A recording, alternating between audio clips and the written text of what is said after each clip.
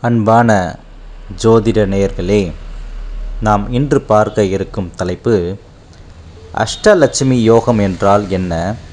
அந்த யோகம் இருக்கிறவர்களுக்கு என்னென்ன பலன்கள் கிடைக்கும் என்பதை பற்றி ஆகும். அன்பர்களே அஷ்டலட்சுமி என்பது செல்வத்திற்கு தனலட்சுமி விளைச்சலுக்கு விவசாயத்தின் மூலம் வளர்ச்சிக்கு தானியலட்சுமி துணிச்சலுக்கு தைரியத்திற்கு தைரியலட்சுமி வெற்றிக்கு விஜயலட்சுமி சக்திக்கு ஆதிலட்சுமி கல்விக்கு கற்றலுக்கு வித்யாலட்சுமி ஊக்கத்திற்கு மன உறுதிக்கு கஜலட்சுமி குழந்தை செல்வத்திற்கு சந்தானலட்சுமி ஆகிய இந்த எட்டு லட்சுமியும் சேர்ந்ததுதான் அஷ்டலட்சுமி என்பதாகும். அன்பர்களே ஒருவர் ஜாதகத்தில் அஷ்டலக்ஷ்மி யோகம் இருந்தால் அஷ்டலட்சுமிகளும் அவருக்கு அருள் புரிவார்கள்.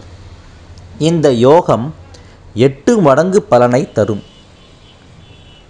அஷ்டலட்சுமி யோகம் என்பது குரு கேந்திர வீடுகள் ஒன்றில் இருந்து அதாவது லக்னத்திற்கு ஒன்று நான்கு ஏழு மற்றும் பத்து ஆகிய வீடுகளில் ஒன்றில் அத்துடன் ஆறாம் வீட்டில் ராகுவும் இருந்தால் இந்த யோகம் உண்டாகும்.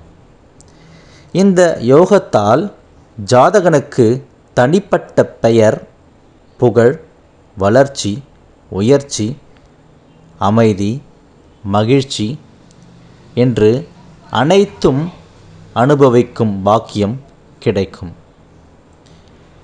அன்பர்களே இந்த அஷ்டலக்ஷ்மி யோகம் பெற்றவர்கள் வாழ்வில் ஒருபோதும் இன்னலை அடைய மாட்டார் என்பதே ஜோதிட சாஸ்திரத்தின் பலன்.